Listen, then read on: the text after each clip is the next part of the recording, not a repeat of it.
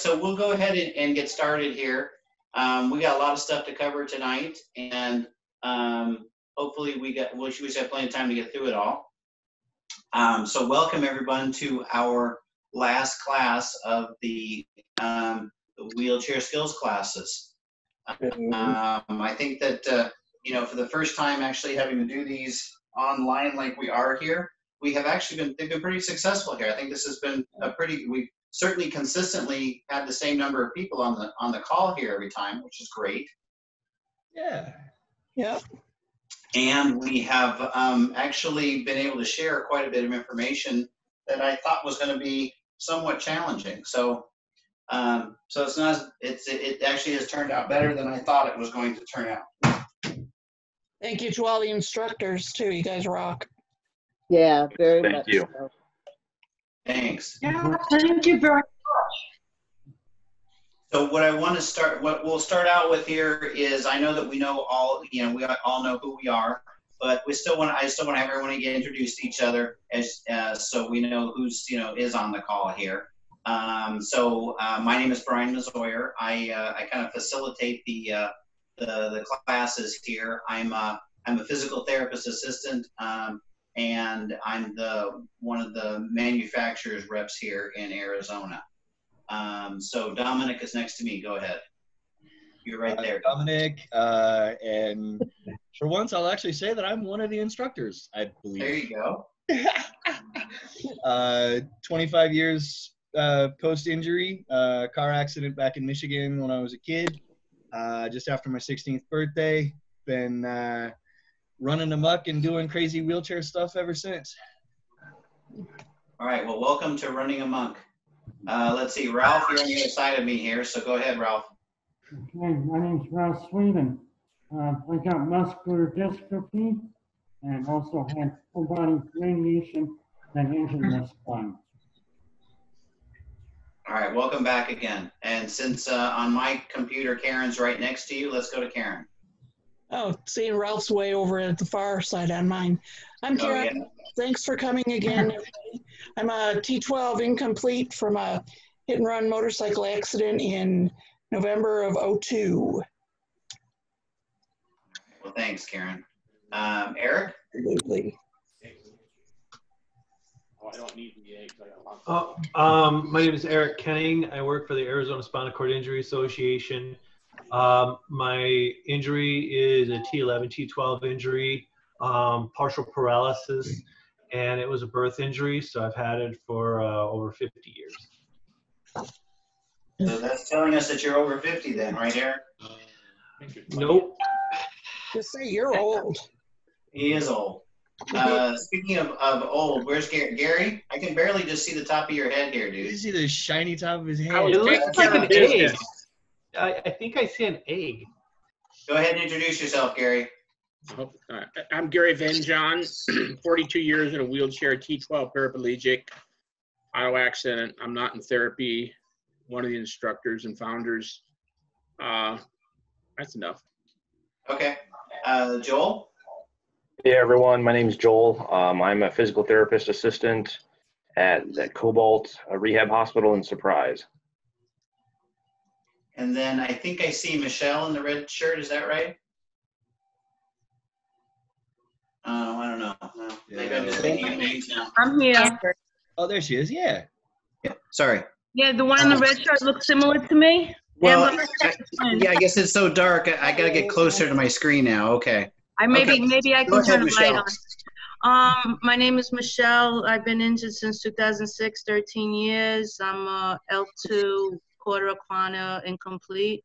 I still go to PT and uh, exercise every day. Okay. Uh, Amber. I'm um, PTA at Empower Physical Therapy. Um, I'm just wanting to learn a little more, and my daughter wants to say hi too. Hi. Hi, daughter. Hi, Amber.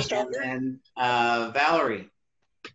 Um, Valerie, and I'm just hit the two-year mark, T12, uh, paraplegic, had a spinal stroke after surgery.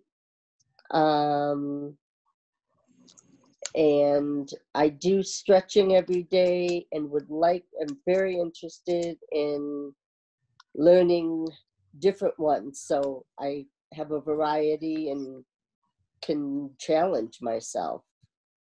And I'm Okay. in Tucson. Terrific. And uh, Christine? There we go. I'm Christine Beecham. I'm an occupational Christine, you're therapist. muted. No, she's not. She's not muted anymore. She's a big girl. She can unmute herself. I did it. Um, I'm an occupational therapist at Banner Physical Therapy in uh, downtown Phoenix. I do outpatient neuro OT and the wheelchair seating clinic here, um, and I'm one of the instructors. And right next to her is Sarah. Yeah, um, my name is Sarah. Um, I'm an incomplete uh, T4, and I've been um, hurt for two years now. All right, welcome back, Sarah. And Jean? And Jean? Hello. Jean? I'm um, There you go. spine, uh, C5 quadriplegic, uh, spinal cord injury board member. Been injured for 26 years and uh, always enjoy these clinics and seem to learn something new. So thank you. All right. I, I, I don't, I know Ashley's got hers muted, but I don't know if she's actually there or just is, if she's listening or if she wants to say hi or anything. So I'm thinking not. Okay. So, um, the class this evening is mechanics of your wheelchair. Um, so what we're gonna we're gonna be um, talking about maintenance and cleaning and setup of chairs, um, things to do about um, for repairs. Um, I know that uh, someone uh, posted apparently a pretty cool video on doing tire repair. So we will um, we'll watch what uh, what she does uh, for, for for doing tire repair. Um, and then hopefully we've got uh, some of the guys have got some of their toys with them nearby that they can show us some maybe some sports chairs, some some other types of, of um, chairs for getting out and about in them. Um, so what I'm going to do is I'm going to Oh, And don't forget, I made the video for my toys too. and toy good. I'm glad that you made video there as well. Um, so what we're going to start out with is is is um, chair maintenance, and um, you know just like your car, you know it's something that you should be doing to your chairs and kind of you know at least once a month giving it a once over just to make sure that things are are working okay on it. Um, so uh, I think that Dominic is actually set up. Are you ready for for for caster cleaning? Yeah, yeah, I can show.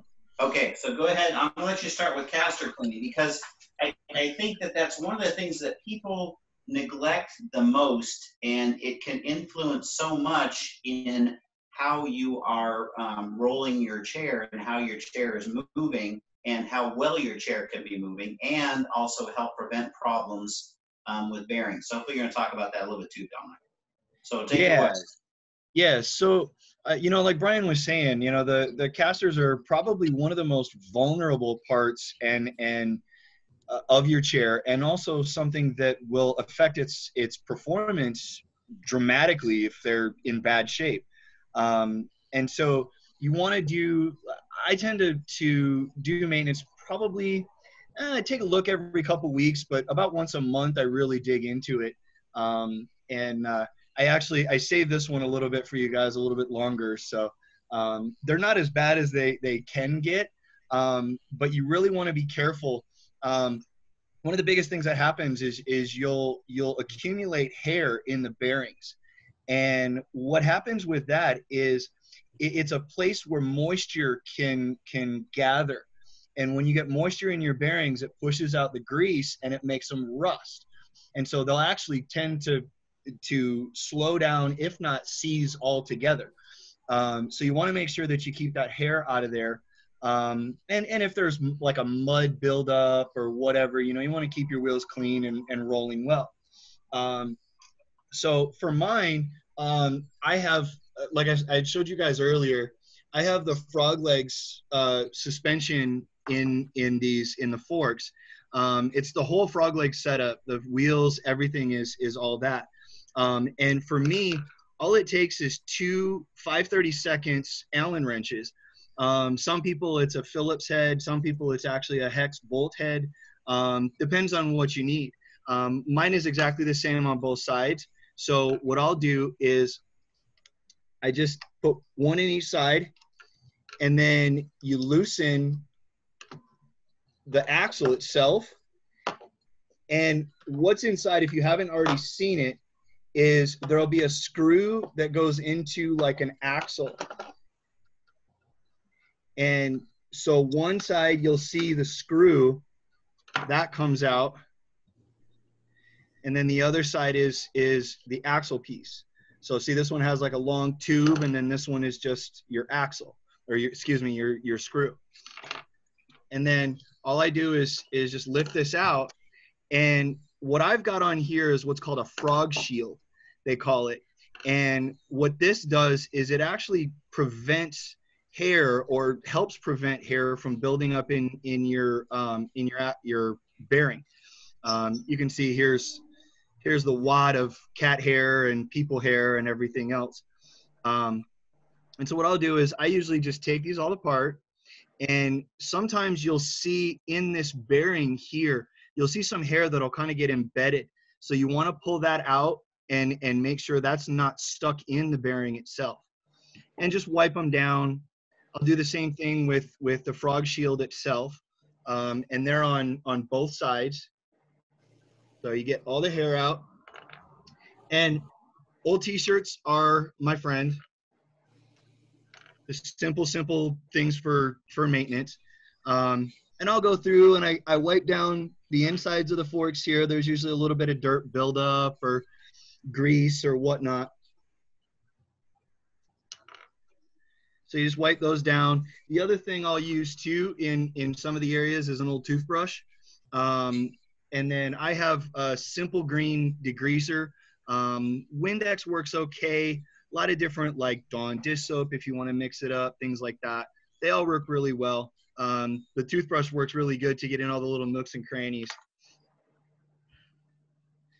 Um, and uh, the other thing too, if you need it, this is one of them that's a really good tool.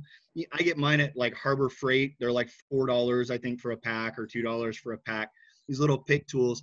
They're again, you know, really good to get into really tight areas and things like that.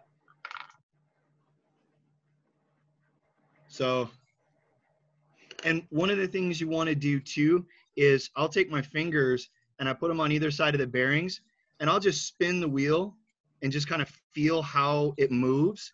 If it moves really, really freely, you know, then you're in good shape. Sometimes you'll feel like it'll it'll catch. You can feel it kind of like bind in your hands. If it binds all together, then you definitely need to replace them. Um, you can replace the bearings themselves. These are just uh, like roller skate bearings or, or skateboard bearings. So any um, sporting goods store will have them um, and there's no real specific size or anything like that. Um, so then you just take the, I take these frog shields and I put those back on and then you just gotta kind of slide them in there. And then now what I'll do too is in order to thread this axle through, there's another little like bushing inside the wheel so you want to try to line everything up as best you can. But you'll find that when you get into the very middle of the wheel, you can't go any farther usually because that little bearing inside, uh, that little bushing will slide and you can't slide the, the axle all the way through. So what I'll do is I'll take like this with the Allen wrench, I'll go in here and I'll just kind of move things around and just kind of find where that's going to slide all the way through and then you just line up the other side.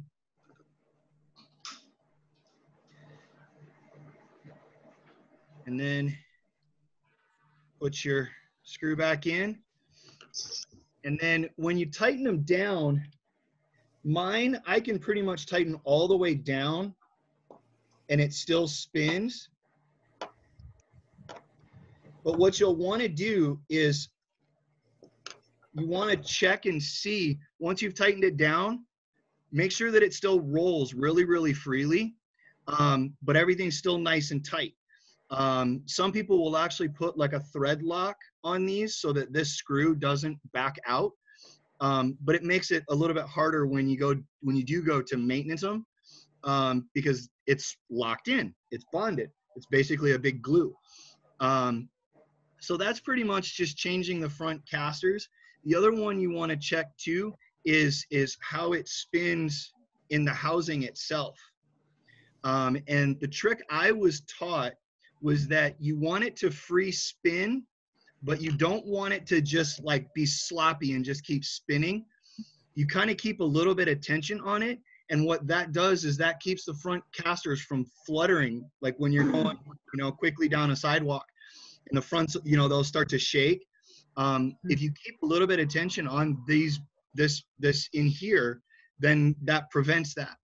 Um, on my chair, there's a cap right here, and I can just take a screwdriver, a flathead screwdriver, and I can pop this cap off, and there's a nut inside here.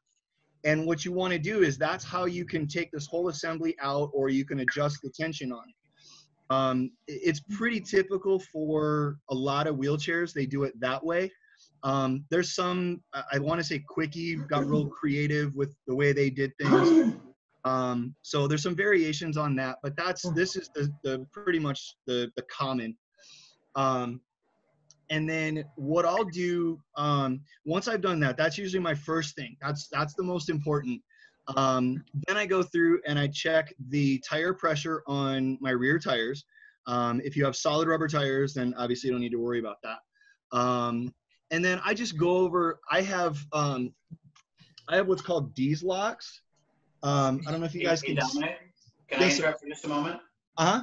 So one, uh, a, a, a hint for everybody or, or something to, to make sure you do when you're doing the casters is, is do the caster wheels one at a time.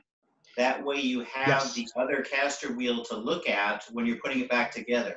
Because a lot of times on the, the fork of the caster, you may have multiple holes that that, that axle can go through. And if you take Good them both off at the same time and forget which hole it goes into, you can you can change the, the rolling geometry of your chair. Um, so I always rem- uh, recommend people take them off one at a time. Do one side that way you can kind of look at the other side to see how it's supposed to go. So if you forget something or if you have an extra part, well, you shouldn't have extra parts. So uh, so you need, you'll have to go back and figure out where it went. But you've got the other side to refer back to. So I always do that so that I've got that to be able to refer back to. Yep. Okay. Didn't Absolutely. talk about these locks because I know that there are some have them. I think they're kind of cool thing to talk about because they're unusual. So with these locks, I I hope you guys can see that my computer kind of goes into this weird shadow. But on on the left side of my chair, I just have this one lever right here underneath where my knee's at. And this one lever, it runs a cable and it splits and goes to both wheels. So Wow. when you look at if you can see on the hub of my wheel see this the gray ring right here that's got a bunch of holes in it. So there's a pin a spring loaded pin on the inside of my frame. And what happens is when i pull this lever both wheels get locked. That pin goes into both wheels simultaneously and it locks right at the hub. This is definitely not a try to slow down lock. This is a on off.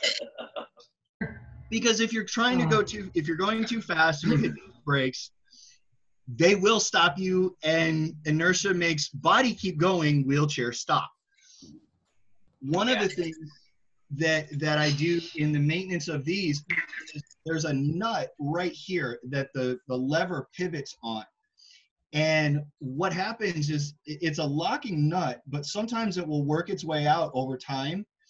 And what has happened is I've been rolling down the street and I've hit a bump in the sidewalk and it's been enough to jar the wheelchair and jar this loose. Well, to jar this to engage the brakes and stop me dead in my tracks. Well, my chair dead in, my, in its tracks. Um, so I want to make, you know, you make sure that this is nice and tight. Um, and there's a lot of little screws that hold this brake hub onto the wheel. So you want to make sure and, and go through those and make sure those are nice and snug. Um, don't like crank them down because you'll just strip them. Um, but I'm wondering. Hey, Dominic. Yes.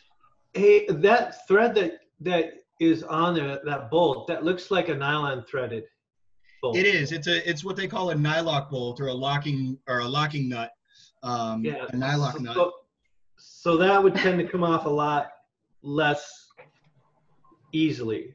It does, yeah. It's it's meant not to come off, but with constant usage and, and moving that pivot all the time, um, they do come loose every once in a while. The chair that I'm actually in, I need to actually put up on the bench next and tighten that one because it keeps coming loose. Um, it's been I don't know a few months. Um, oh, the other thing that I was going to show too was um, I know Sarah did the video on um, on uh, changing your tire, but I wanted to give you guys a couple tips. These are tire sticks. You can get these at any bicycle shop. This is particularly the Pedro's brand, and I swear by these. I have broken pretty much every other brand except for these. I've broken these, but I was doing some really stupid stuff, so don't worry about that. Um, but these, getting a pair of these to get your tires off are absolutely key. The other thing that's really, really good to have um, is these little glueless patches. Again, you can get them at any bike shop. I think you can even get them at like Walmart and Target and stuff like that. Um, but if you do have a flat and you need to, and you say you don't have a spare tube or whatnot, you can actually, when you find the hole, you can put this right over the hole and you don't have to deal with messy glues or anything like that. It's just stick on, put it back, you put your wheel back together, pump it back up, it's good to go. These So where do you get those? so these you get at basically any bike shop. Um, like I said, I think you can maybe even get them at like Walmart and stuff like that. I think like there's slime brand, different brands. These are specialized. Um, I'm on Amazon too. Definitely on Amazon. Both all of this stuff you can get on Amazon.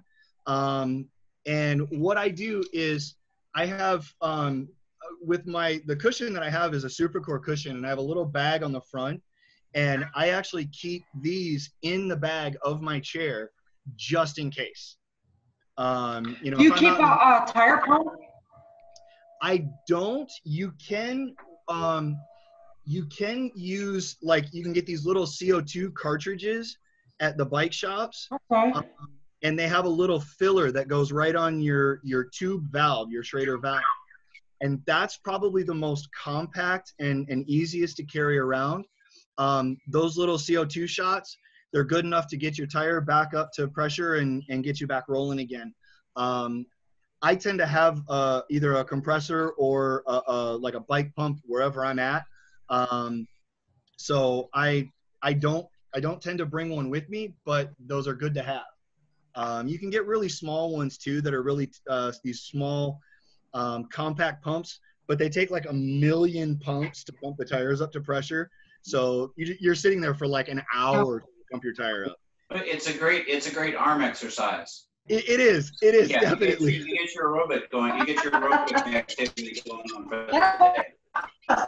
Um, and, and so, and Dominic certainly brings up a good point about tires is, you know, maintaining the, the tire pressure is really important for, for two weeks, for two reasons. One, uh, a low, a low tire, a low tire pressure is harder to roll than a, than a tire that's at its normal pressure. So you're actually adding to your rolling resistance. Um, another reason is that a uh, I guess there's several reasons. Another reason is that uh, a, properly inflated tire is less likely to have punctures to it than an underinflated tire because with an underinflated tire, um, just like on your car, you can actually pinch it against the rim and you can you can get a you can get a hole in it in, in a tube that way as well.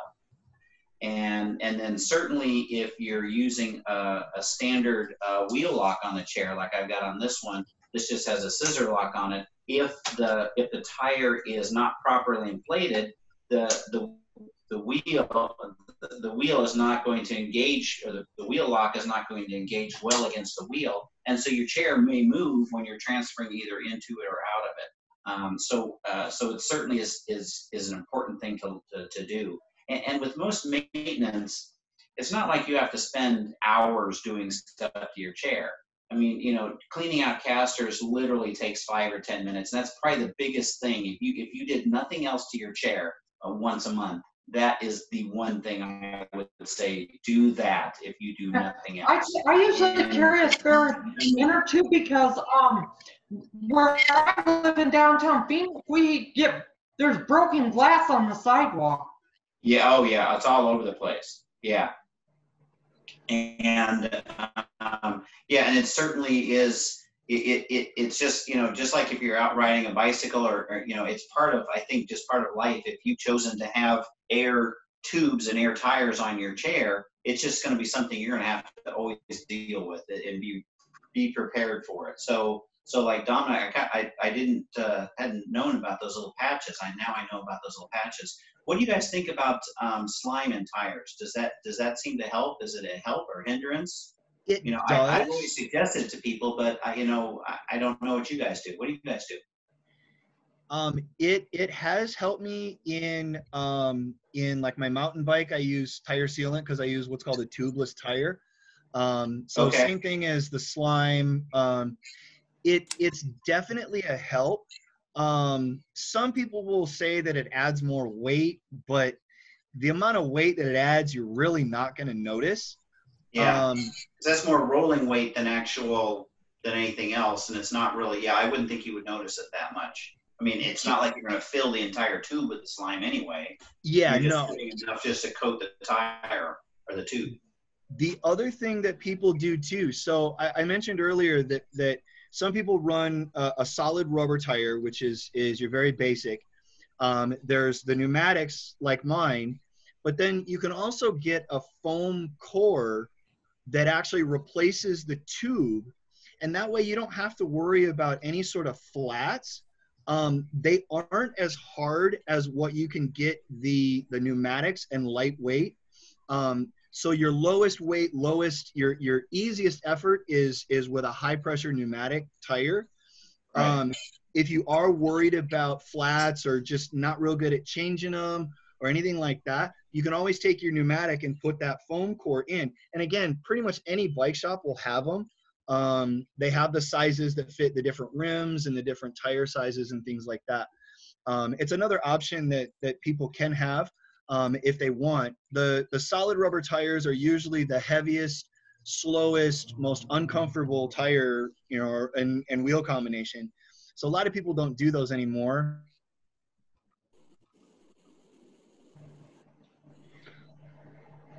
Did you I think you just froze there, Dominic, or did you just stop talking? Yeah, I think we just lost Dominic for a moment there. Okay. Uh, okay. I got a little feedback on the on the slime as well. Um, Okay, go ahead.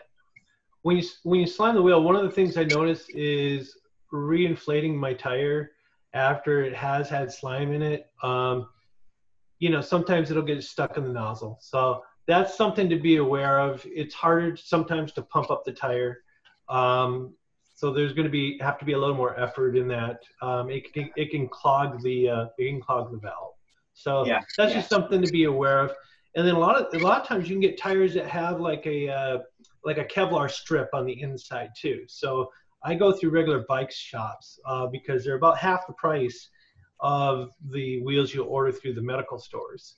Um, So do most bike shops carry uh, uh, what would be compatible on wheelchairs wheels? not not everyone. I'm I'm finding that some do and some don't. Okay. Um, So it, I- so is it something can- that those that don't, are they willing to order them for you? or Yeah, yeah, go to a they're- has them. and- Yeah, and they're they willing to just or- give you- they're willing to order them absolutely and the other thing Okay. with uh, the black tires that i get uh, from my chair um, the tread lasts a lot longer like a heck of a lot longer like if if i were to get a one of the gray material tires i'd be lucky to get three months out of it whereas with a with a regular bike tire i can get like a year year and a half two years Wow. out yeah i mean the the extension of you know the lifetime of the tire is definitely goes a lot farther and then also you're dealing with uh, that Kevlar strip that can go in there. That's that's native to some of those tires actually. Um, or you can get it. You can get just a Kevlar sheath that you put on the inner tube itself. So there's a couple different ways you can do that if you don't want to go the slime method, or you can double down and you can do slime and a Kevlar, which is what I've done because some of the spear, spurs here in Arizona are uh, tire puncturing spear. Uh, Yeah, spur. you, you run over some of is- those, you run over things like goat heads and those can really go right through a lot. Yeah, yeah, yeah, yeah. That's that's what I'm talking about. Go ahead. Yeah. Yeah. What brand tire do you use, Eric? Because when I, my bike shop charges like a lot more, like say on marathons than Sportaid does. So last time I got Uh, Primos and I don't really like them, so. You know, I I don't remember. It's been a while. I think it's a Schwinn, um, but I I could be very wrong.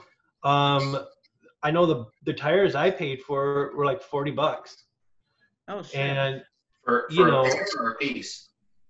uh, I think that was I think that was a pair. I mean, I I got them for a de- you know I get them for a decent price because you know they're 24s and I usually get I usually would get what's called uh, the road tires. So they're a thinner tire. They have a little less tread on them, um, but they're really good for road tires. I mean, they they have high endurance. You can go a long ways with a road tire like that. And uh, the only the only downside is they are black, so you're going to get streaks on the floor. You're going to notice the dirt a little more um, in that respect. But to be honest, the trade-off is is it's it. I don't even have to think about it because, like I said, a gray tire will last me three months. So What is the slime you guys are talking about? So it's a, it's a product that you can get at, at Walmart or any bike shop. And, and it's a liquid. It comes in a little, little container. I mean, you can buy it in a, in a big jug, but, um, it comes in a small container and you take out the, the valve on the, um, tube and then you actually squeeze it into the tire. It actually tells you how much to put into the, into each tire.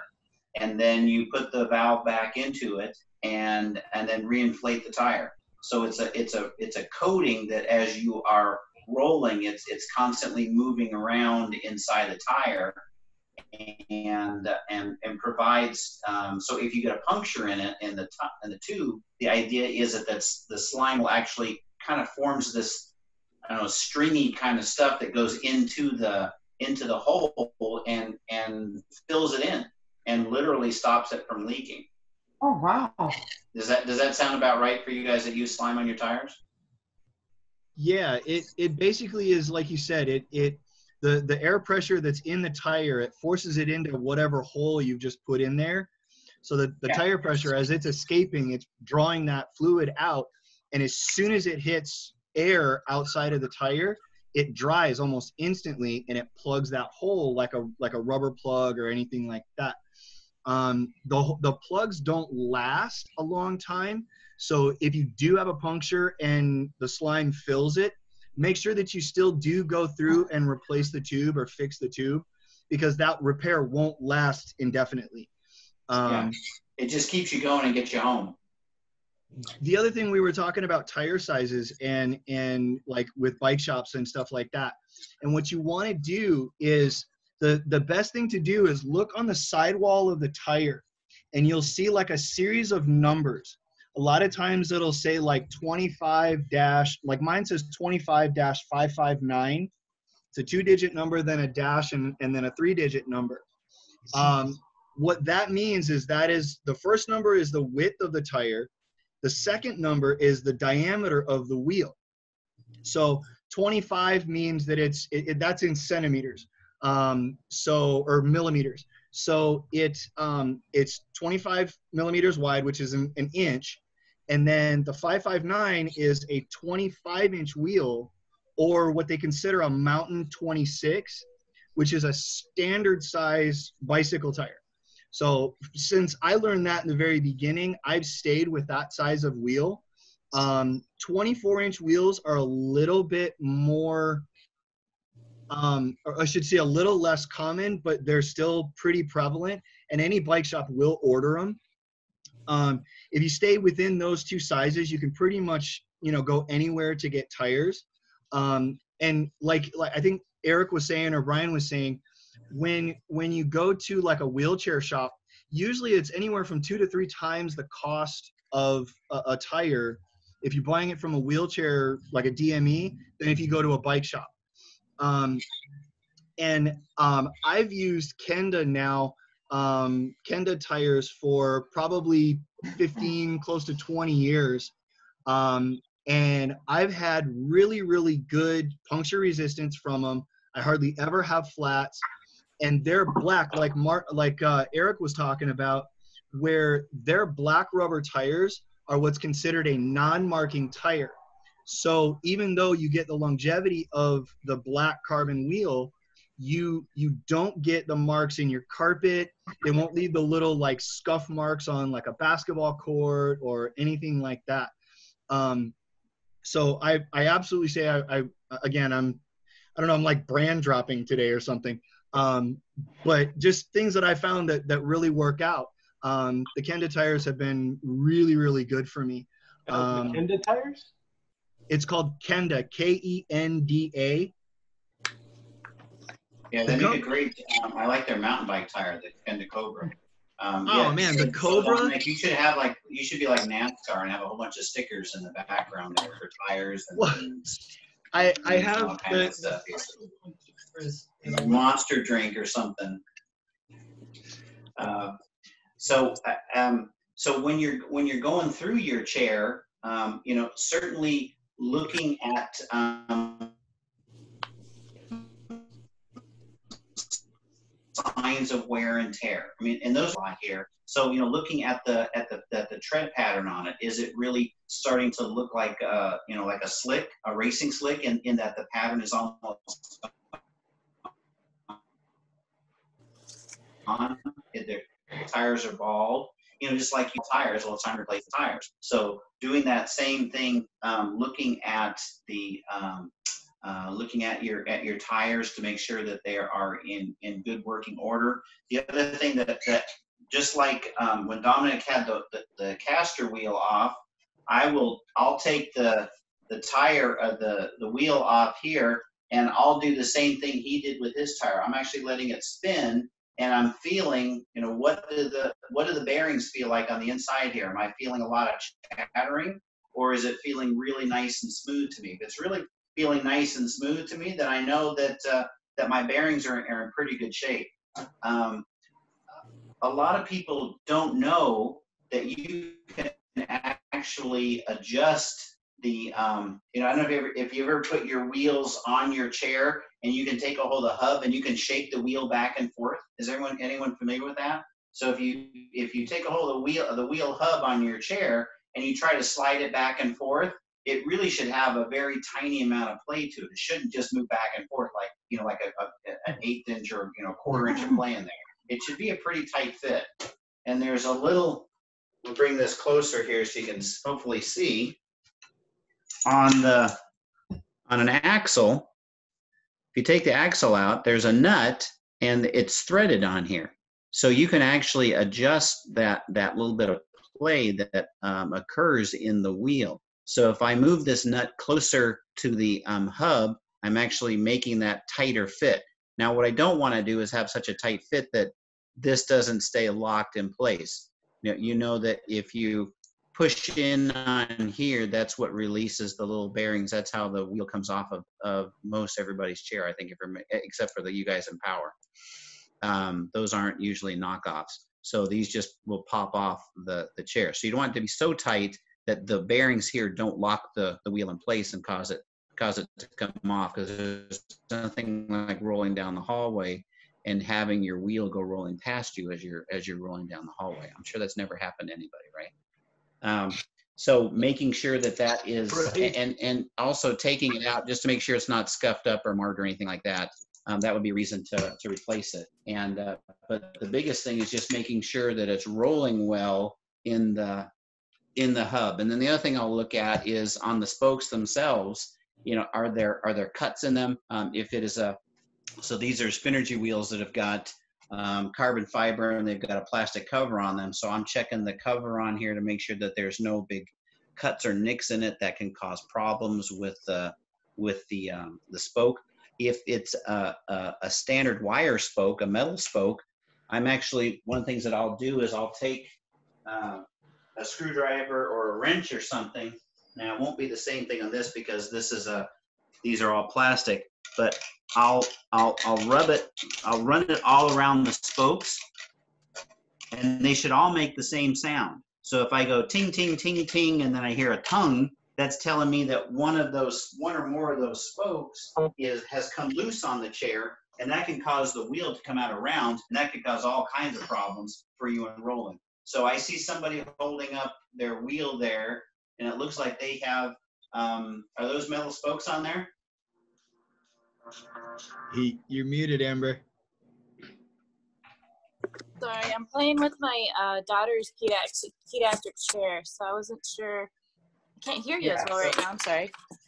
Yeah, so, uh, so I think it's, it looks like she has metal spokes on her, on her wheels. Yeah, there's some metal spokes on this one. Yeah, yeah. So what I usually will do is I'll take a, a either well I've got an Allen wrench in my hand, but I'll take a screwdriver and just y- you know how as kids we used to put well at least I did I put um, playing cards in the in the spokes of my bicycle to make that you know the click click click noise. Well, it's the same thing here. Should be the same should be the same noise all the way around. If there is a noise that's different as you go across the spoke, that's telling you that that, that spoke is probably loose. You need to have, you know, it's just a, another tool you might need to have in your arsenal is a um, is a, a spoke wrench. And it's just a small little wrench that's designed for tightening and or loosening um, spokes. So if you find that they get if so if they if a bunch of them come loose, then you can actually have a tire that comes a wheel that comes out of round or out of true, and that's when you take it to the bike shop and have them retrue it. Um, the, the other thing is is just kind of looking at the the upholstery. So are there are there wear are there wear marks? Are there tears in the upholstery? If there's tears in the upholstery, that's when you're in contact your um, your local dealer and and say, hey, I need to have the, the upholstery replaced. I need to have the back upholstery replaced. And that might be the same thing for you guys in power chairs as well. That you're going to have some kind of upholstery on probably the back or even on the maybe the cover of your cushion. Same thing. So if you've got either tears in it or wear marks in it, that would be a reason to either replacing or replacing the entire cushion or just replacing the cover of the of the cushion. Most cushion, uh, all co- all uh, cushions are designed that you can replace the the cover on them pretty easily, and also just take it off to put it in the laundry too. It's not a bad idea to eat to even if you don't have any um, incontinence issues. It's not a bad idea just to throw it in the laundry once in a while because you know you're sitting in the chair all day long and and sweating and moving around and stuff. So just throwing in the laundry has a it leaves you with a fresher smell during the day. Um, so looking at the, if, if you're in most, most rigid frame chairs, like the one I've got here, has got a, a series of, of bolts that hold the, the uh, seat upholstery to the frame of the chair. So most of those are going to be either um, a uh, an Allen wrench or maybe a, a screwdriver. So I'll just take uh, an Allen wrench and I'll just go over each one and just kind of just double check that it's that it's snug. You don't have to have the strength of Hercules to keep it tight. It's just trying to make sure that it's that it's snug and it's not moving around on you. And and that way it's just kind of keeping the upholstery. If if these if the screws are not coming loose on here, then that doesn't that allow that doesn't allow the upholstery to, to move around and become loose on you as well. Um, and so on the on the, the back, there's even some there'll be some screws there where the back, depending on the type of back you have, where the back is attached to the frame of the of the chair, and uh, just adjusting those those screws as well. So some of them, it- it's going to depend on the manufacturer of the chair that you have. So I have a, a TiLite sitting in front of me here. So it is just Allen wrenches and um, 7 16 inch. Um, in the case of this chair, and and and more and more chairs are going to metric. So the, the chair that I have here is not metric; it's all SAE. So um, I can just use standard um, Allen wrenches on it. But you need to check with your um, check with your owner's manual on your particular chair to see is it metric or is it are they standard fittings. So, so you need to check that so you're using the correct using the correct Allen wrenches or sockets for that um, for your particular chair. But um, you know it's a good idea just to kind of go through looking at the even at the frame here for any kind of wear and tear. You know, a lot of times you're taking your chair in and out of your vehicles, it gets dragged on the ground. You've been flying somewhere, you took a, a, a trip on, on a plane, and and the nice people at the airport were able to um, really do some nice decorations on your chair. So make sure that they didn't, um, you know, cause any dents or, or you know breakage anywhere in the frame then that could be certainly uh, a reason to maybe look at um, replacing that particular the the, the frame on the chair or getting a new chair. Um, and then just continuing to look over uh, if you have any straps on it, like this chair has uh, a calf strap on it. So just making sure that it's um, that it's staying in place, that it, it, again doesn't have any tears or, or um, rips in it or anything that's causing it, uh, any kind of problem.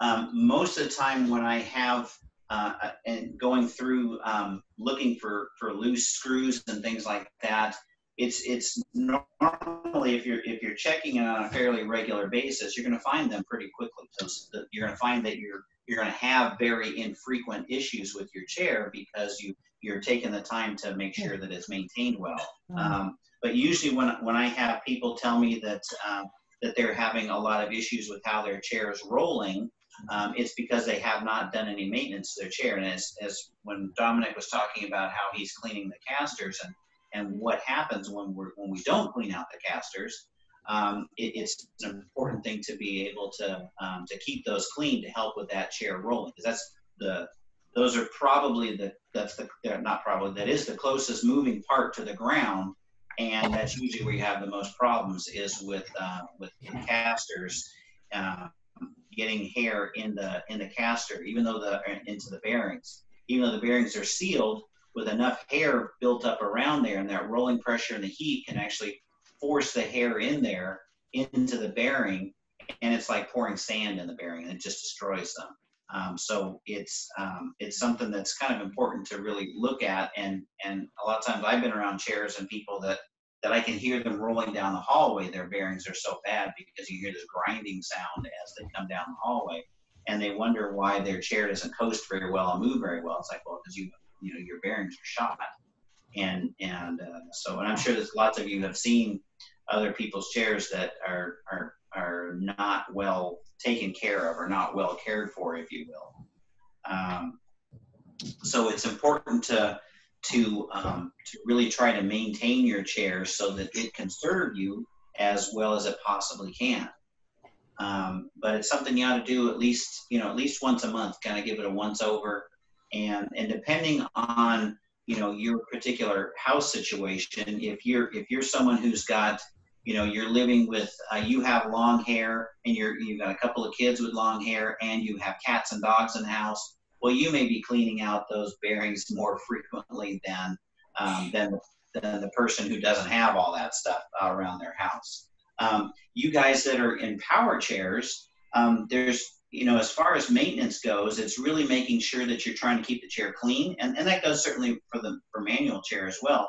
Trying to keep your chair as clean as you can because a clean chair rolls better and it's it's going to be easier for you and or your friends that handle it for getting it in and out of vehicles and stuff. And um, so it just makes it easier for for maneuverability. But for for power chairs um, it certainly makes sure that you're charging your chair every day. Make sure you're charging it all night long. That's going to help to allow those batteries to last certainly as long as possible um, is getting a good full eight eight plus hours of charging on those on those batteries. Um, especially if you're using the chair every day, you should charge it every night. And then, um, uh, you know, I talked about keeping it clean.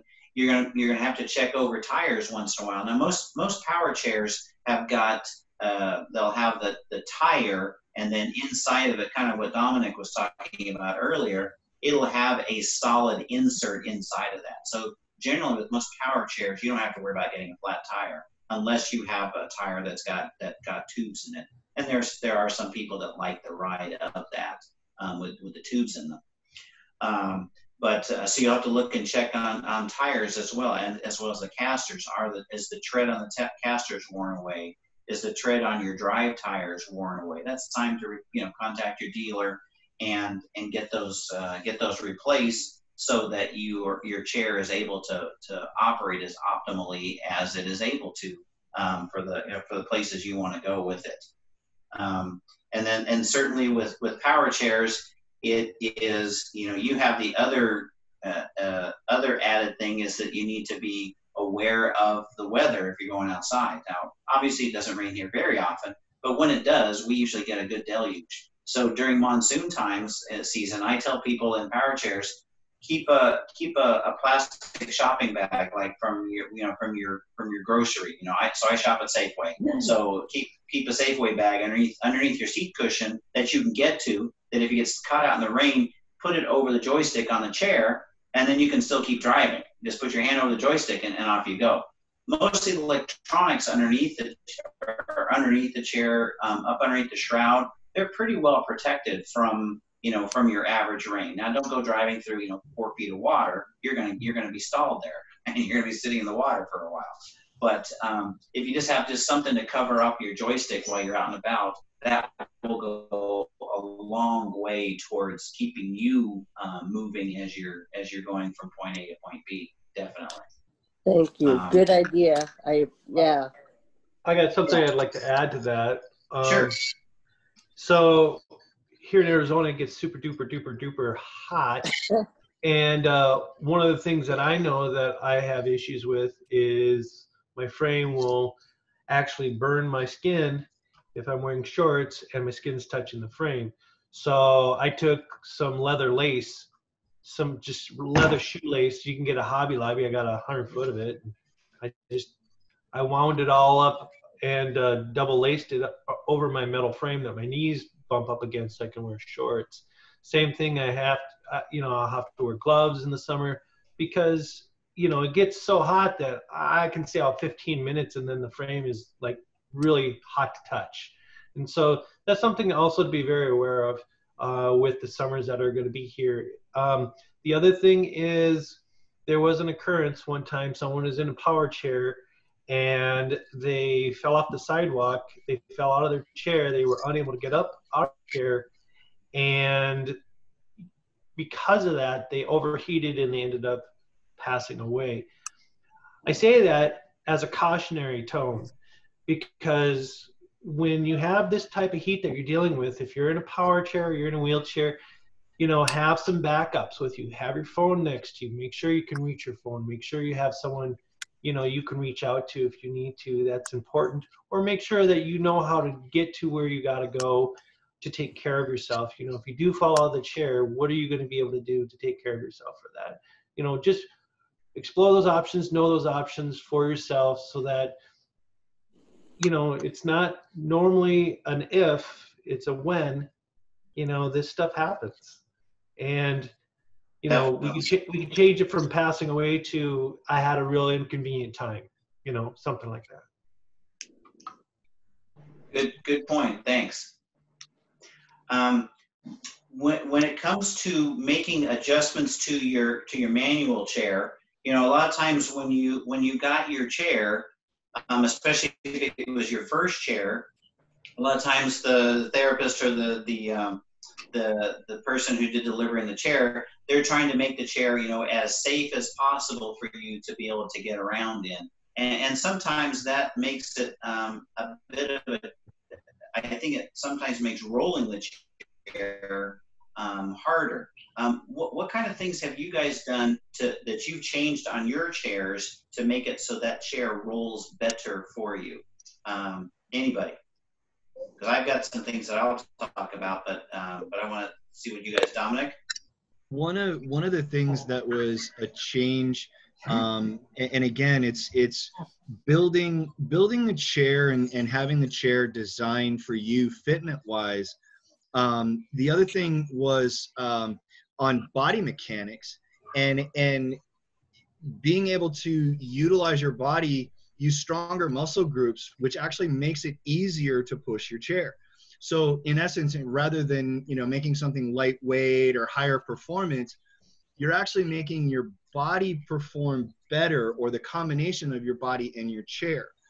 Um, so one of the big things for me was, and I don't think I can get far enough away, but when you when you're sitting in your chair, you're sitting in your normal position. If you put your hands down to your axle and your fingers are right at your axle, that's like that's supposed to be what I was taught the like optimal point of of where you're sitting, the height of your chair, um, and and so what that does is it it you're not straining your body. Um, the other thing is bringing the chair in as narrow as you can, not causing any sort of pressure issues like in your hips or anything like that but bringing your chair in narrow so that you know you can get your you try to get your your um, your wheels right underneath your shoulders and you keep your elbows tucked in so that when you're pushing again you're using these really strong muscle groups um, so the chair itself having it built in a specific way that will help its its performance and and its ease. Um, and one of the other things that i wanted to touch upon too um, while Brian was talking about it with, you know, doing doing these these different.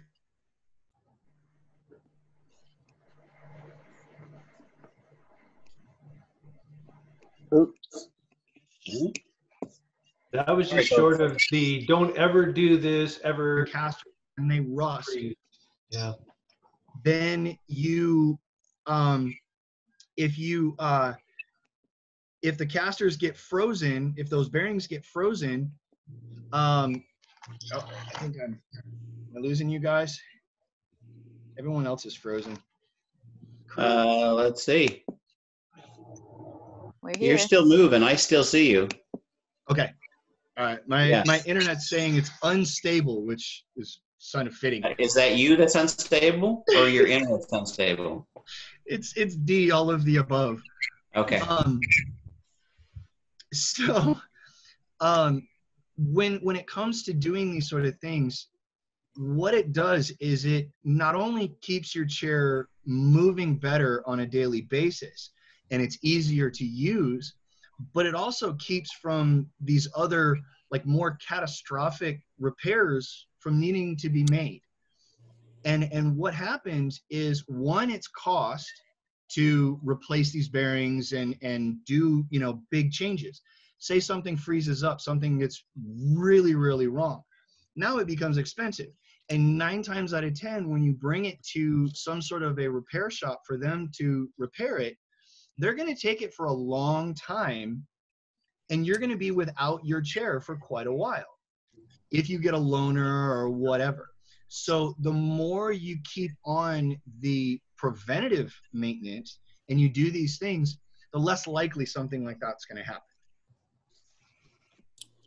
So well, when I when I was talking modifications, I was thinking thinking making change. Now you you brought up a really good point about where the fingers end up on on the axle, um, but also like changing things like performance for the chair. So changing things like center of gravity, the seat slope, and stuff and stuff like that.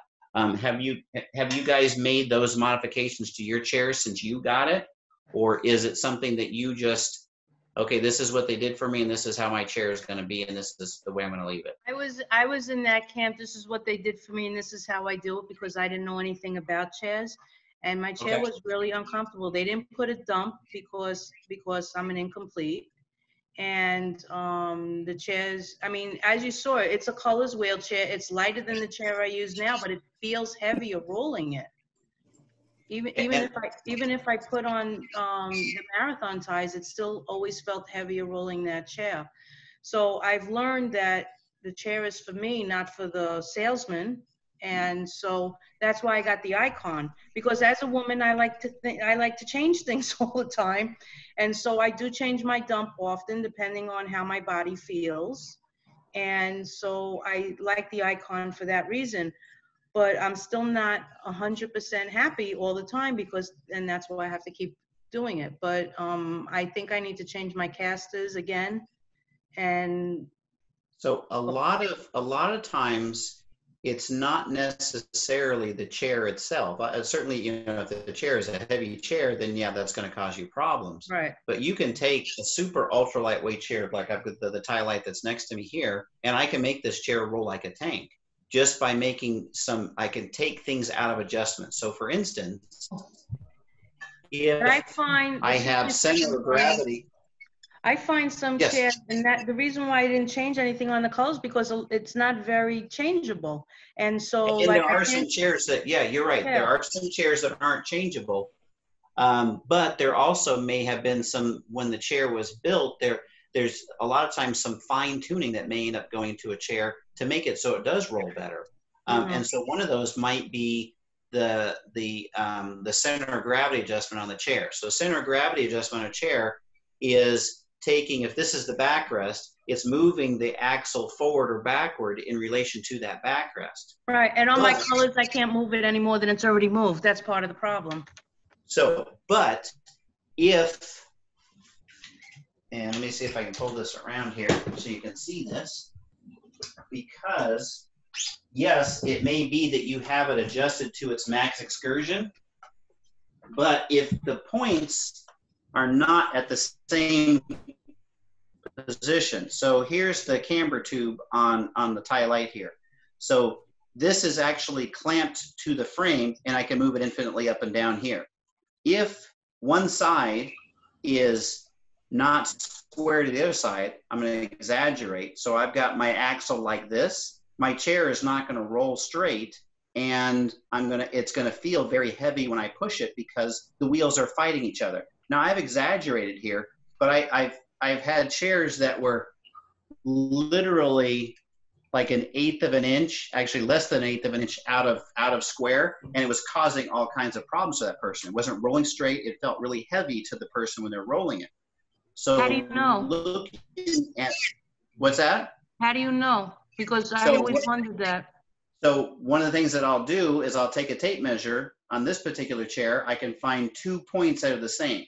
So I've got a point here and point here that are on my camber tube, and I measure it to an, a, a fixed point on the frame. So in this case, I would use like the end of the frame here. I can measure from here to here. If they're the same, I know that the wheels are square to the frame. If one side is maybe farther forward than the other, or vice versa, then I need to square that up so that those roll straight. The other thing that can cause problems, if you have a chair that you can actually adjust the angle on the caster. So the casters are designed that there's a, a generally there's some kind of a flat spot on it that keeps the wheel square to the ground, so at a right angle. If you've got one caster that maybe is in a trailing position on the arm or even in a forward position on the arm, that can also cause problems on how the chair rolls or rolls well or doesn't roll well. So I'll put a square on there and I'll make sure that that's square to the ground. And a lot of times I have found that when someone's chair is not rolling well, that's because their casters are out of square as well. You have any suggestions, Corbin? Anything else that you would look for for He's your, muted. when making helping the chair to roll better? I think another thing that I've seen, if it's somebody has adjusted their foot plate, then sometimes it's out of whack, and it it it bends that frame. It, it, I actually it- yeah, have the it'll tweak the the frame to where it's at square. Can you hear me, Corbin? I can't hear you. though. You're muted, Corbin. Somebody unmute him. Okay, now I'm There we back. go. Cool. Sorry, I had I had some I had some customers.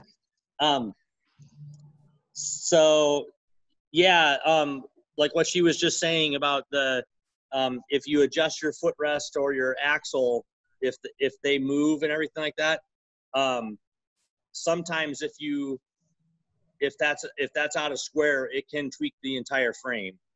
Um, yeah. th- there was a guy a guy a number of years ago that he just could not complain about his chair all the time that it was out of square and everything and that's what it was is he he was really trying to get his footrest to a certain position and would just over tighten it and it would tweak his chair. And he just would not believe that it was his footrest was, uh, it was about a quarter inch lower on one side than the other side. that'll Um, tweak, that'll tweak a frame easy. Yeah. So what I like to do much. is, what I like to do is I, I uh, will, if I'm setting up somebody's chair or fixing somebody's chair, I've got a nice big flat table. Um, it's a, it's actually like a corner office table. So it has like a half round or a quarter round that I can get into, but then the table's big enough that I can get an entire chair up there and everything like that. And it's a nice flat surface that I can get squares on and, and all that kind of stuff. And, um, so I, I like to do that. And then you loosen everything up, get everything square and then, uh, get everything set up and then start tightening things up, you know, slowly. Um, but yeah, it's just it's just a matter of you know keeping things clean, um, going through your chair, you know, once a month, or it, it depends. It, it it really depends on how often you should uh, go through your chair on your environment. Um, but going through and uh, being in tune with your chair, like you can hear or feel when something's a little bit off.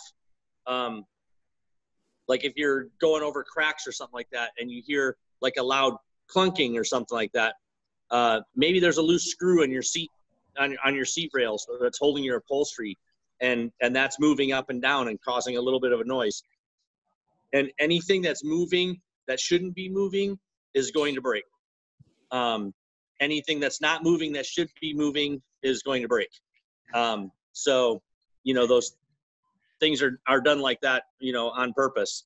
Um, and then uh, there, a lot of times, chair companies haven't really been doing it uh, a lot lately, but over tightening is a huge problem, um, especially when most hardware screws and bolts and stuff like that are steel, and a lot of chair companies are putting those into a softer metal, a softer alloy like aluminum or something like that. So people will over tighten that stuff. And what that does is the steel is is a lot stronger. So if you over tighten it, it it's actually starts to pull the threads of the softer metal and distort them.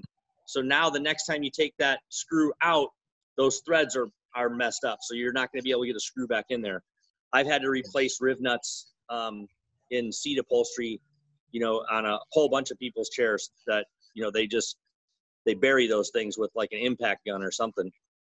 Um, Um, those, those of you guys that have um, camber in your wheels, does everyone know what, what camber is on a wheel?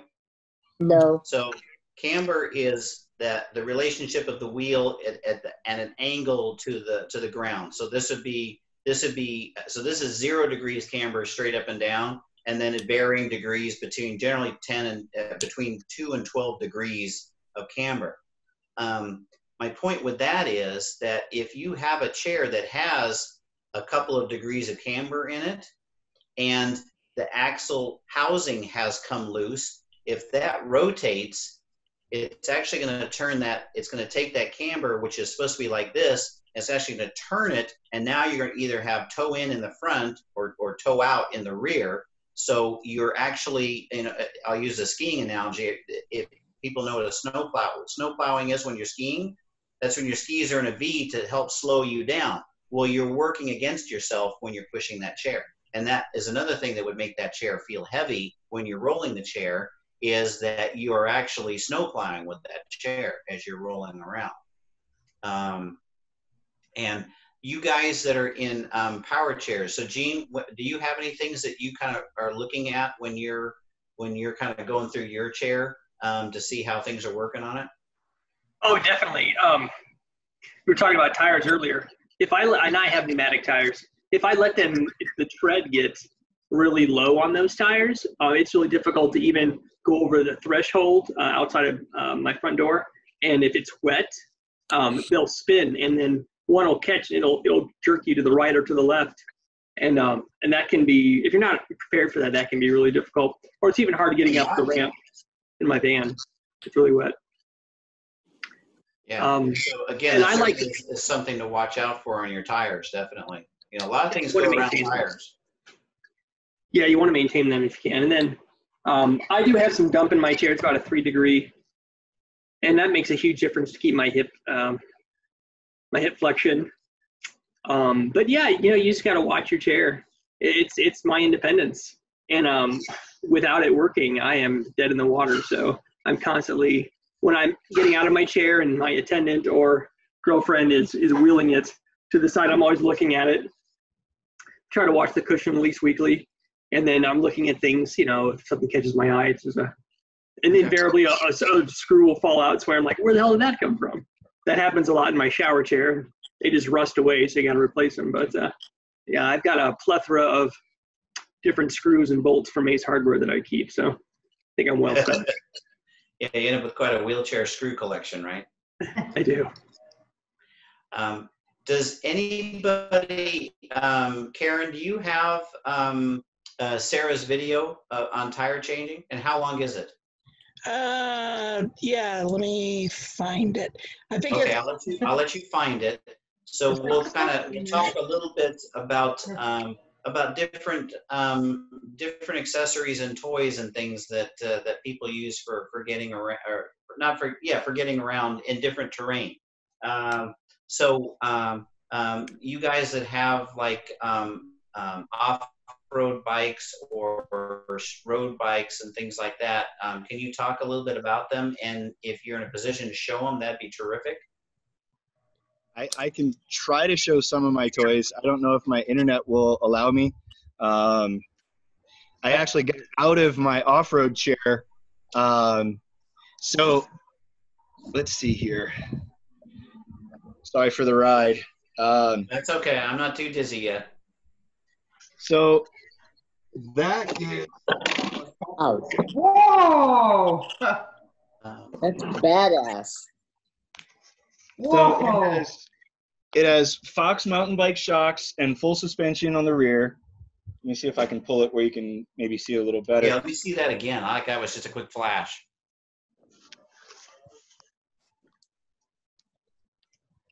So what do you use this for? So that's when I go hiking or like if I if I want to go like uh, it around in the snow really well. So you're you're uh, all of a sudden your your voice changed. Um, It it changed. there we go. Yeah. You're I- far away. Yeah, it, maybe it's just because it got yeah. Not that yeah, it changed on the computer. Not that I don't think your voice actually changed, but Oh, it right. on the Okay. computer. So you must have just turned away from the microphone. I think when you turned your when you turned your computer around. Oh. Talk a little louder. Maybe that will help. So I use that chair when I go hiking, um, or just even if I'm if I'm gonna go on my mountain bike and I know I'm gonna be you know in a dirt parking lot or whatever, I'll bring that chair just to get around in the meantime. Um, and also if I go snow skiing, um, it gets around really really well in the snow. Um, and this one is just basically it's all I've done is it's the the box WCMX chair um, but we put larger front casters on it and then we put the knobby wheels on the back. Um, other than that it's it's basically the same you know off the shelf of of that chair. Um, we tune the suspension a little bit different just you know for different applications but that's that's splitting hairs. Um, the other thing that i put in it too was um, i put in uh, you can get them as just like snowboard bindings um, but they're sticking out the back right now. Um, I don't know how well you can see it, but it's a click strap seat belt. Um, and that keeps me in the chair. Um, so this will actually go around my waist and then I can, I can cinch it down um, and, and make sure that I'm, you know, in the chair nice and tight. Um, that I kind of use the chair if I do crash, which does happen. Um, I, I kind of use the chair as a roll cage rather than and, and it's much easier to get up when I'm in my chair rather than out of my chair and trying to climb back in. Um, so that's that one. Um, okay, and I think we, oh there we, we lost you from Did you do I still have you? Yeah. Uh, now, Yeah, now you're back. Now you're back. Okay. Okay. Um, So does anybody else have any things, uh, different uh, devices that they use for either for sports or just for exercise or getting out and going places that they want to share with us? Um, I have a couple, but I I don't have direct access to them. But I do have all the website stuff, pictures pulled up from. If you guys would let, if if that would be appropriate. Yeah, go ahead and you, you can pull them up and, and so go ahead and share your screen and um, and then we'll see what you got. I just saw, uh, is that a bike, Dominic? So yeah, so this is Okay. uh, these are. Oh. We'll come back to Dominic because I want to see his bike. here. Yeah, ahead yeah, and go- share your screen. go- Go, Go for ahead, it, Darren. share your screen. Uh, I can wait for Dominic. It's no problem. Somebody go. So all right, so these are two of my bikes. The, the one in front there, that is Wow. a Force Three. Oh, we got Sarah there, woke up there, okay. And that one, I have the knobby tires on it, and I have it set for trail riding. Um, and then the one, I don't know if you can see that one. That one is my active adaptations hammerhead. And the biggest difference between the two is that the hammerhead, the one that you can see right now, that one you're in a kneeling position when you ride. Um, so your hands are up, your body is up over the hand cranks as a hand cycle. Whereas this one here, it's your typical where you're reclined back. Um, and so I mean, there's a lot of differences in capability and comfort and, and things like that. Um, but I have I have one of each, so I can I can play whichever I want. So which which one gets the most workout? The most workout is the is the hammerhead. Um, That one is definitely a lot harder to use. Um, and in fact, I uh, I kind of mucked up my ribs a little bit on a ride this morning because the riding position is actually rather uncomfortable. Um, it's not a joyride machine. Um, it is definitely for the the much harder terrain, uh, much better in downhill, but it's again not a joyride. Whereas the one that's reclined, you can ride on the path, you can ride on the trails, you're reclined back, it's nice, comfy. Um, you can ride for much longer, but you just can't do as hard of terrain as what the other one can do. So you kind of decide you you you've you've made your choice of what you're going to ride based on which bike you're taking. Okay. Exactly. Um, so so go ahead, Eric. Um, okay, I have a I have a couple things I wanted to show. Um, during um, I haven't some of these I haven't done in a little while, but I wanted to at least show them to you. Um, this right here is the uh, the wheels that I used to go on the beach. Um, so when I got married, my wife got me these these, and uh, they're really they're it's a really good uh, really good wheel. Little heavy. It's a little heavy, um, but they work really well. Um, I have to I find I have to pop a wheelie, so I need I I've been looking for a, a way to get my casters off the beach. And one of the things I've been looking at is this device here. It's called the Freewheel, and I'll show you. I, I don't know if any of you've ever seen this to be able to. Yeah. Oh, So what the freewheel does is it takes your front casters off of the ground, and now you use this uh, large. I think it's like it's either eight or ten inch diameter wheel, Yep. and um, and you can you can steer your chair and go over terrain. You don't have to keep yourself in a wheelie all the time.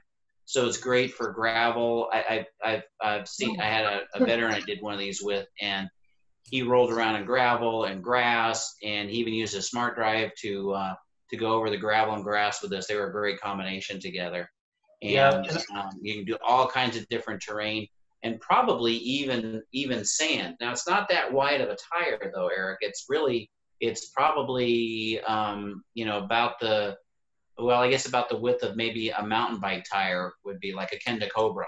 Um, Yeah. Maybe So maybe that. that won't work, huh? Yeah, but it, it certainly would be something worth trying, or to contact the manufacturer to see if maybe they have something that is, if they have different tire options for it as well.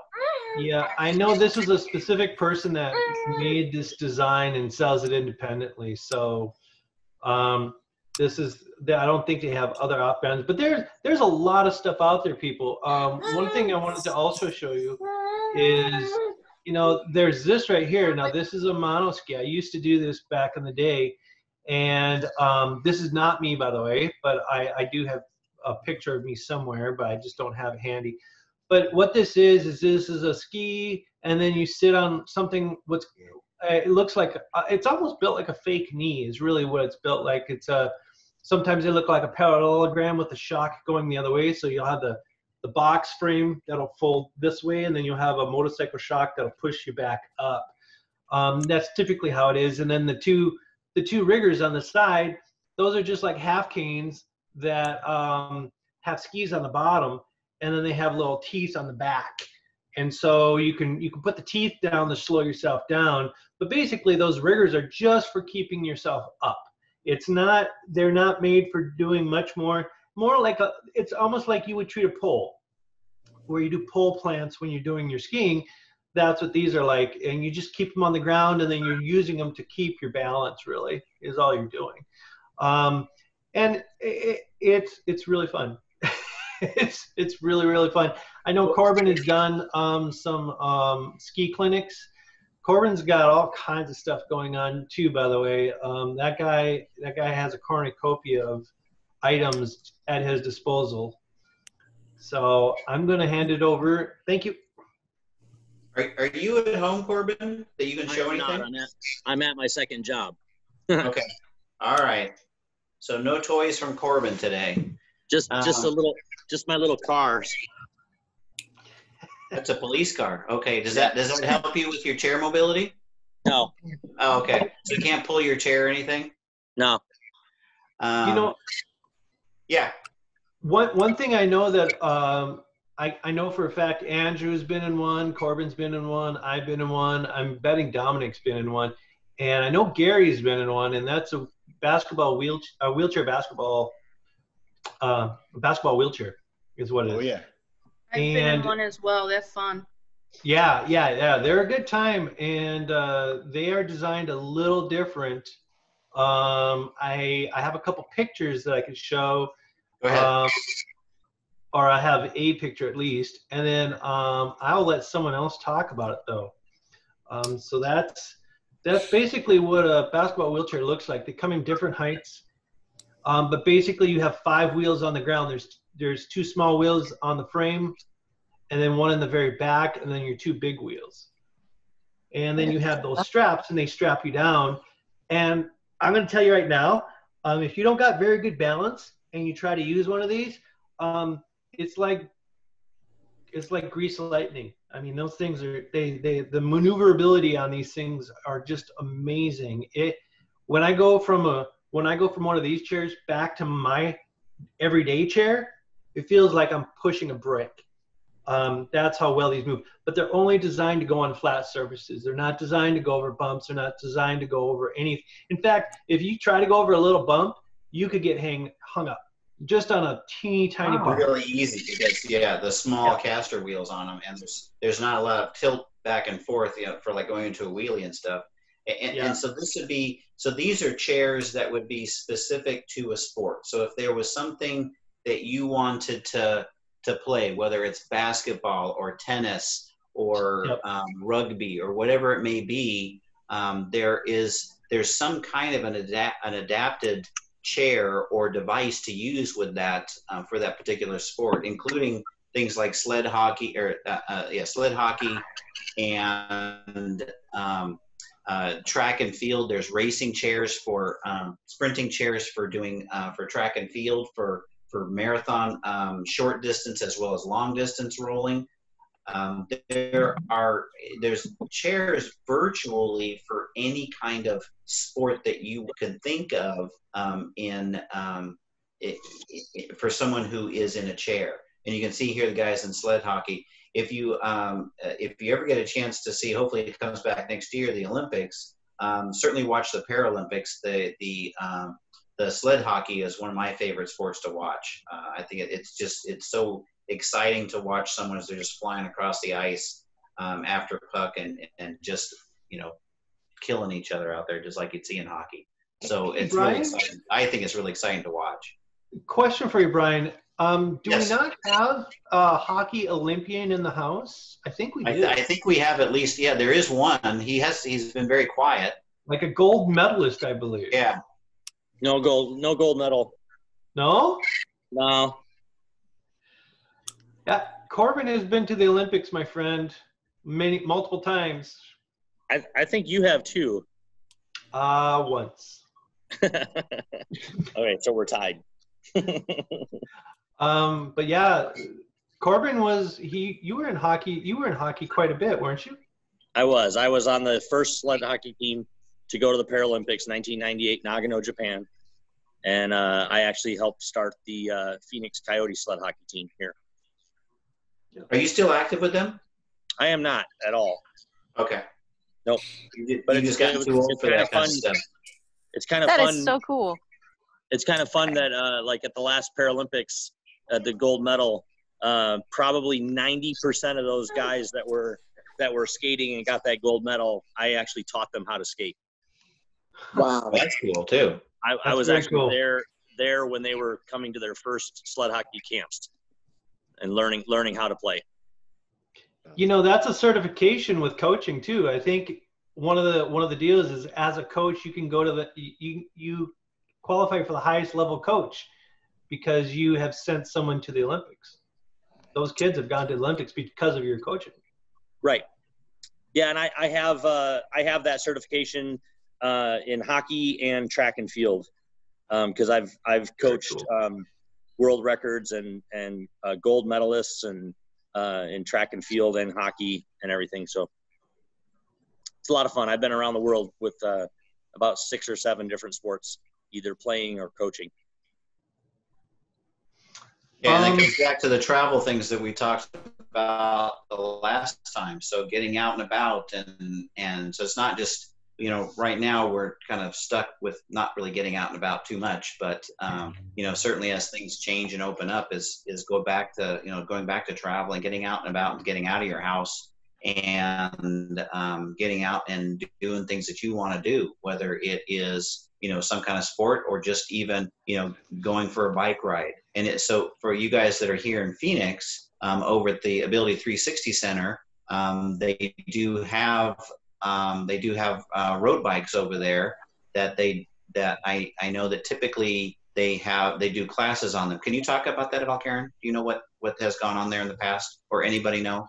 Gary. I know they have the terrain hoppers. Now that's one of the new things that they have. Okay, what's that? Um, It's a lot of fun, is what it is. Oh, oh, okay. Michelle sounds like she's done it. Okay. I know So it's on my about- Facebook. If it's on my Facebook page, I would have grabbed the video if if I knew. They are Um, fun. So Karen's going to show us something. What are you going to show us here, Karen? The terrain hopper, if I can get it. Oh, okay. Show us a terrain hopper here. I can get it the right Oh, size. yeah, those are cool. Yeah. Yeah, I've ridden in one of those. Those are a blast. Hopefully, we'll be able to get a couple when we do our Wheeling in Nature in October, Okay. so people can ride them. Bring them back down to Tucson. Then that was that was a good day. That was a heck of a fun. Yeah. I, yep, that's those. Okay. Were you able to bring up um, Sarah's video? Yes, I found it. Okay. Can you play that? Oh, there's Sarah. Strange man just walked in my house. Uh oh. Well, kick. Uh, do we need to do anything? Um, yeah, well, you know. Okay. Okay. Sarah, I'm going to share your video that you did. How long is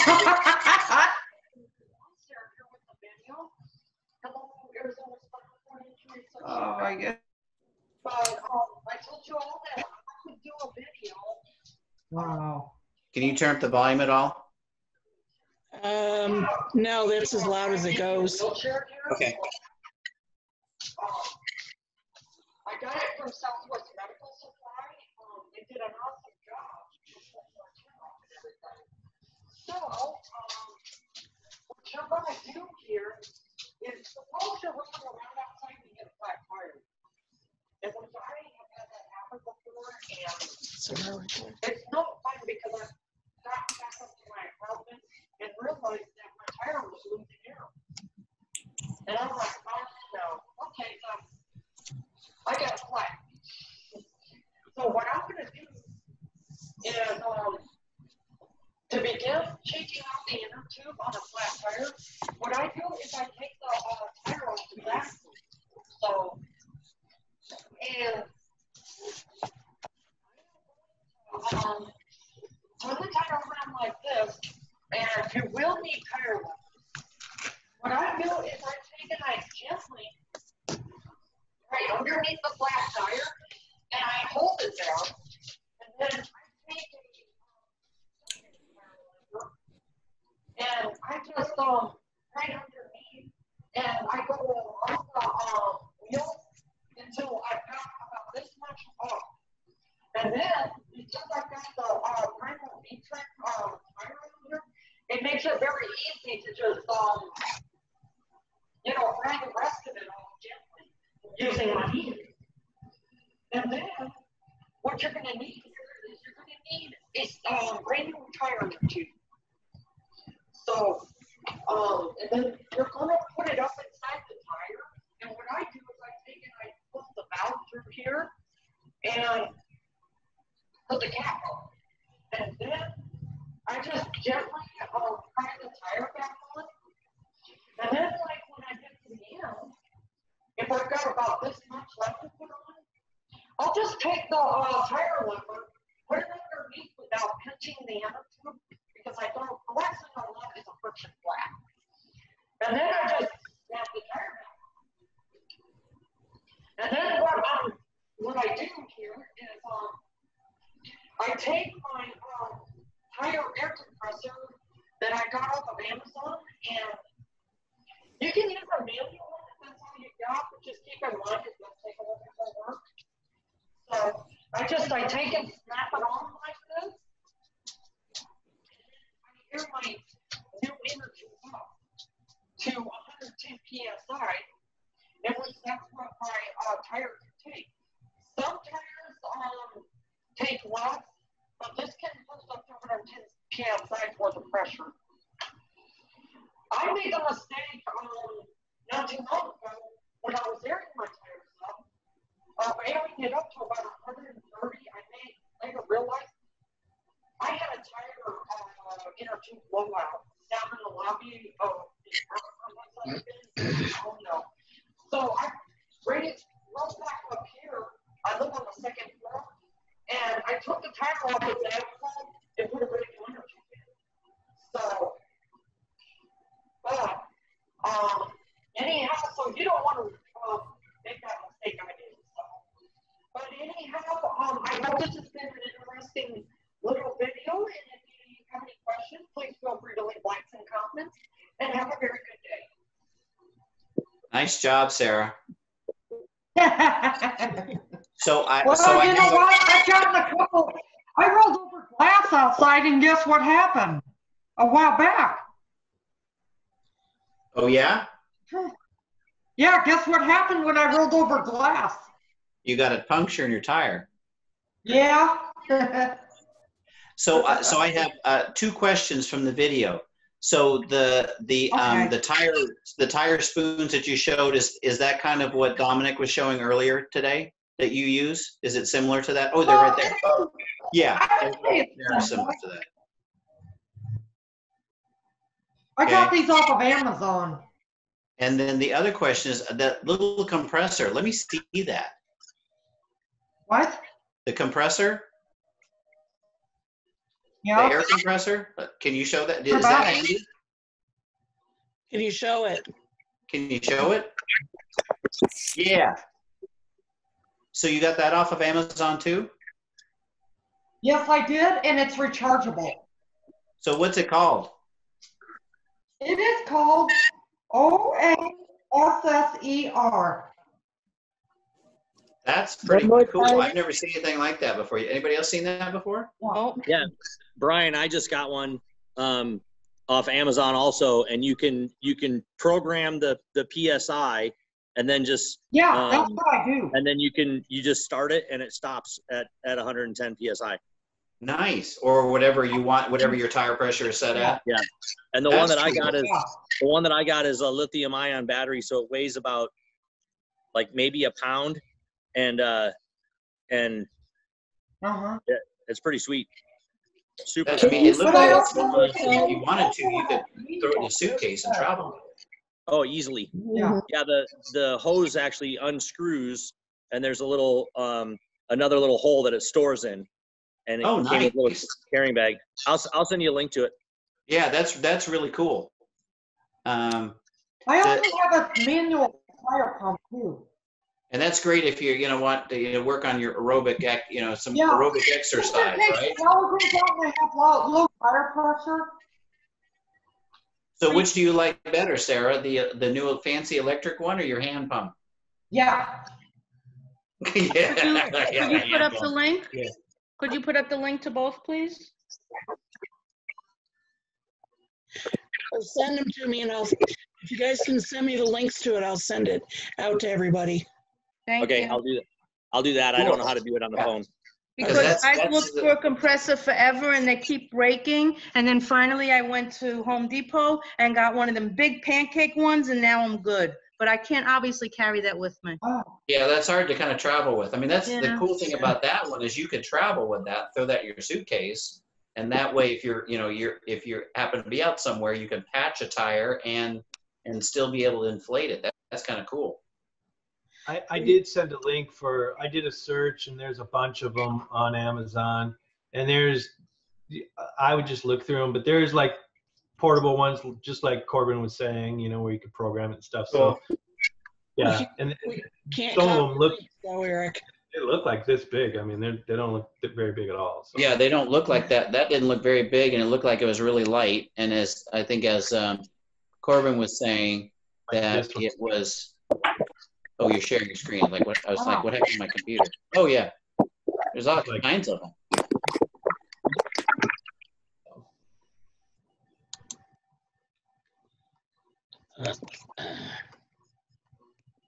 All right. Um, so uh, uh, there are things also that you can add on to your, you know, um, um, Eric showed the the freewheel. Um, there's also another device called uh, uh, that you can put onto a chair that is power assist for your wheel for your chair. So you can have actual power wheels or a power assist device. So like eMotion makes something. Um, there's another company called um, SmartDrive that makes a device that actually hangs on the back of the chair and provides um, propulsion for the for your manual chair.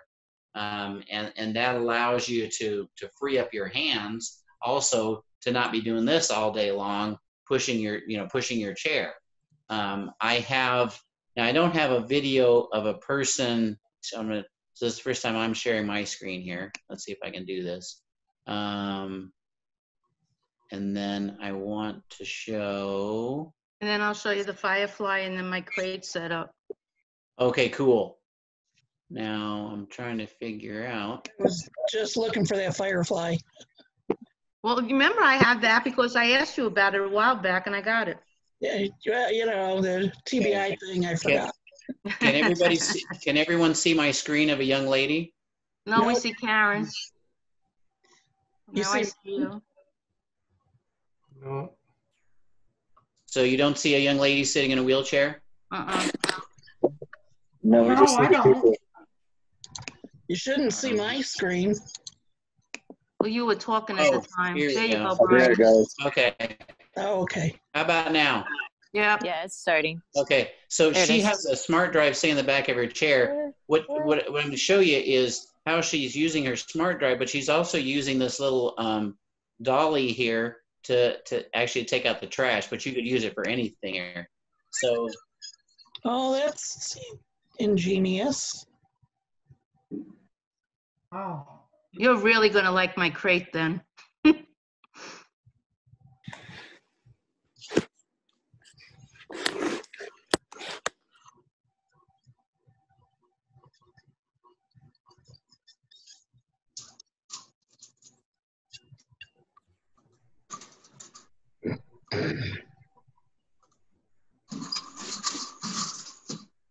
So she controls the SmartDrive with the, the PushTracker, which looks like the wristwatch on her hand here. You can see her tap the wheel there. And now all she's doing is just having to steer the chair, but she's using the, the dolly so she can take out the trash here, which is kind of cool. So you could put mo- mo- virtually anything into the into that dolly there. Um, she could have, you know, if you're if you're doing gardening, you guys can hear me, right? Mm-hmm. Um, so if you're doing gardening or something, you put gardening tools into it or whatever. And so she's just using that little motor that's on the back of the chair here. That's what's propelling her chair. And that's it. That's really cool.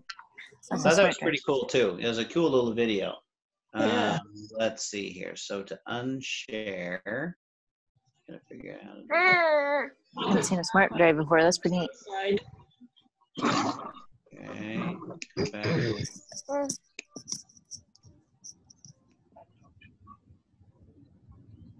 Okay. So how do I unshare, folks? Press the, the share button again. Well, I don't even have it coming back to my full screen. Up at the very top, Brian, What's that? up at the very It's top of very the top. screen. I think it's in red. It'll say you are viewing Brian's screen. Right next to that should be exit. If I press share, Karen, will I knock him off? Al- Also, you, you may want to uh, move your mouse up to the top. That'll, that'll have it come down. Yeah, it, it like brought you guys into this little tiny this little tiny box here that I can't see. Okay. Yes, baby boy. Oh, goodness. Come here. It's like my computer just sort of You have to open the Zoom window back up so you can see it. yeah, and all I have is just this little strip here. I, it doesn't seem to let me do that. You can't maximize the strip? Not at the top. No. It's not giving me the hmm. choice to do that. Let me, if I let me said- try to, let me try to share screen, maybe it'll knock you off. Okay, try that. We'll stop others, okay, yeah, I knocked you off, I think. Nope, it's still there. Yeah, now it knocked him off. There we Hey, go. Brian, just hit the escape key on your keyboard and then Matt will do it. Oh, I didn't think about that. Okay. Oh, All right, there you go. Oh, there's a firefly. Wow. Isn't there a song? Talk about what's going on here, Michelle, so everyone knows. All right, so this is the Firefly, that was me connecting it and this, um, and then I'll go ahead and disconnect it. So again, it's an add-on power device for a manual wheelchair. And that's how I run my dog every night. That thing hauls butt. Oh, they're fast. Yeah. It- yeah, it goes, um, at some point, it, depending what terrain I'm on, I can go up about 14 miles per hour. And they have a version that goes, that I've seen that goes up to 20. And that's just incredibly wicked fast. Well, supposedly there's a guy that has one that do the mechanism to um, make it go faster. So just so you can get an idea of the difference in the speed, this is my dog pulling me instead of the Firefly. Yes, I have fun when I do that. That's pretty fun. All right, and then this, this is the crate that I made to go shopping.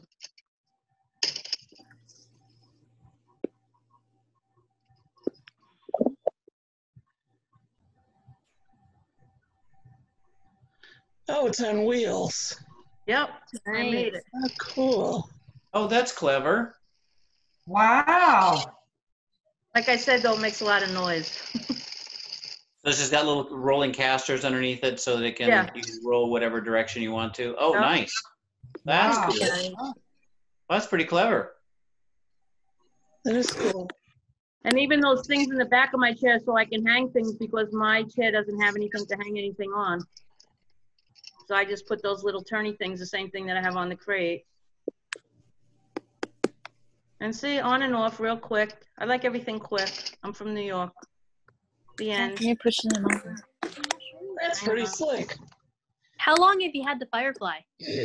Um, not even a year, I don't think. Have you found that it was really it? wears down your tires? Um, not yet. That's what I'm concerned about. That is it gonna um, kind of kind of go through your everyday tires accelerated? Um, probably. Okay, now I'm, I'm, I'm in the same boat. Okay, here we go. There we go. Yeah. Thank you. How to do it. How much was that? Um, I think, um, either two or three grand, something like that. I think I Have you saw it on it? Amazon. Have you seen any other adaptive equipment like the Firefly that has longer handlebars or anything?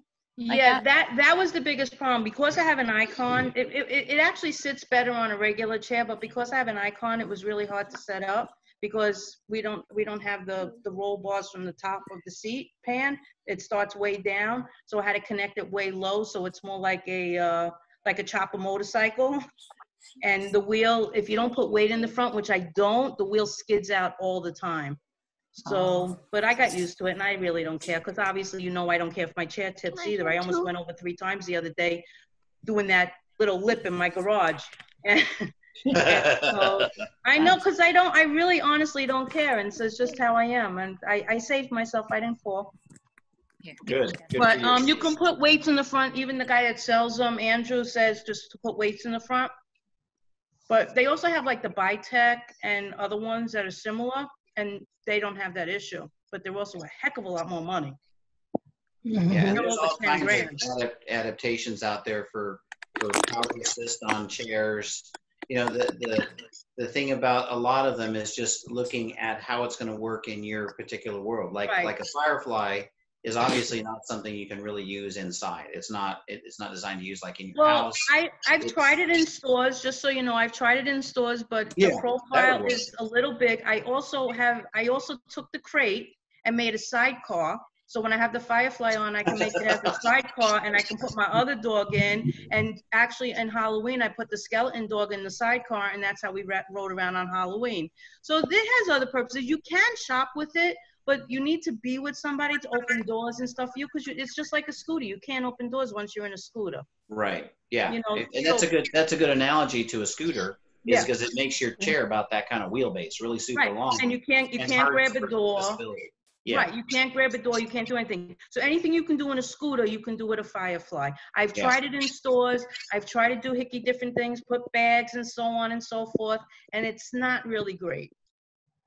So, but I, I've Thanks- done thanks some for other fun sharing that, things. Michelle. No problem, but the crate to me is the bomb diggity. Now, if I can get it to be silent, that would be even better. Yeah, so you're, so you can sneak up on people then? Yeah, I use that crate all the time. I can't go shopping without it. Yeah, that's a pretty cool idea. Um, any, anybody else have anything they want to share?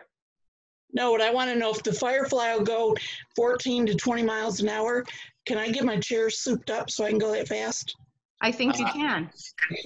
Ask that guy that you told me to ask about the Firefly. He's got his, and he said, "Don't tell Andrew." But he, it- it's a little bike thing that's on the Firefly. So anyone that knows how to do the doohickeys on that bike thing, you can actually override the speed. He has his going 20 miles an hour, and I tried to do it, and I screwed up all. Of course, I did, but I, I screwed up all of the things that it's supposed to be, and hopefully, I got it back to where it belongs. But yeah, you can override it if you know how. And it won't work on your power chair, Karen. Oh, dang. Yeah, but you can scoop up you your have to get power to a chair. Manual chair to use it. Yeah. We'll get you some, we'll, we'll get you some nitrous and we'll soup up your power chair, no issue. There you go. Put some nitrous on your power chair. Mhm. All right. Um, if, if, um, if nobody has anything else left to share, I think, uh, we did a good job on going through a lot of stuff here today. Yeah. Does, does anybody have any questions of anything that we've covered in here over the past four times? I would just like at some point, if we can actually have a wheelchair, I know Karen said, I think we're having it, to do a wheelchair clinic with just fixing. So how to know if your, if your frame is out of alignment, how to know if your frame is bent, how to do all the things we've done today, but actually sit on the floor and do them.